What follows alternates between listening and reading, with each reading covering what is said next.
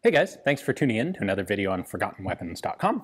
I'm Ian McCollum and I'm here today at the Musée des Armes in Liège, uh, taking a look at one of the really interesting engraved shotguns that they have. Now, I don't normally cover this sort of thing. This isn't normally my interest, but this one's interesting, and this is a, a very different style of decoration to this shotgun than a lot of the others that I've seen. So this is a Browning B25. Um, this is the, the over and under superposed shotgun that was designed mostly by John Browning before his death, uh, and then completed, brought to completion by FN in Herstal in Liège.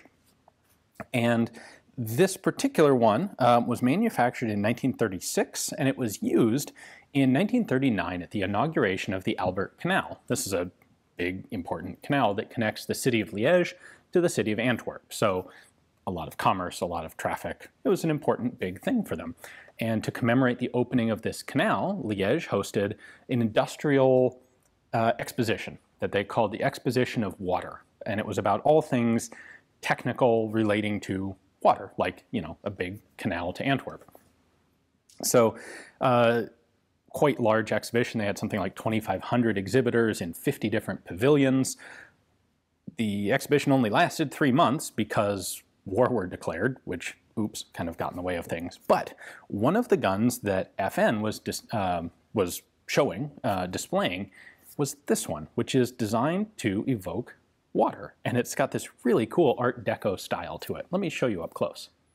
So right off the bat, where most guns will have fine checkering at the, the grip, instead, this one has waves, which I think is just a kind of a really interesting, clever, and artistically appealing design choice. Um, and it does actually give you a nice grip on the gun as well. So that's uh, to follow the, the water theme. We have waves here, and we have waves as well carved into the wood uh, on the fore end. The entirety of the metal is all in the white and highly polished, looks fantastic. And then the side plates are engraved with birds as you might expect for a sporting shotgun like this, uh, ducks, pheasant, and peacocks.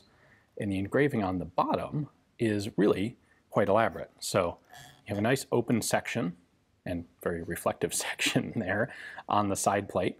And I like the, the juxtaposition of very fine detailed engraving and simple plain open areas. I think that works nicely. And elements like the lines here and the geometric shapes on the bottom are very much Art Deco inspired. This was this is from the, the late 1930s. This is when Art Deco was was really a thing. And to my mind, this really effectively evokes um, sort of that, that, that golden age sort of between the two world wars. Even smaller elements like the shaping of the, the opening lever and the safety lever, just it has that sort of Art Deco style to it. That's pretty cool and unusual. You don't normally see Art Deco decorated guns. Normally you have sort of the, the traditional typical oak leaves, acorns, floral scroll work. This is much more interesting. That wave pattern even continues just a little bit, a little subtly here in uh, the, the wooden butt plate of the gun. We have a little bit of texturing there. Not checkering, but again, waves.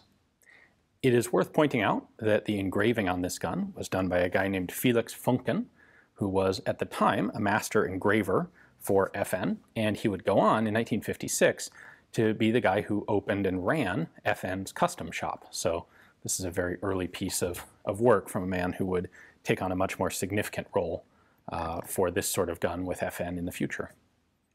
So this is one of the many uh, firearms that the Liège Arms Museum has on display in its civilian and sporting section.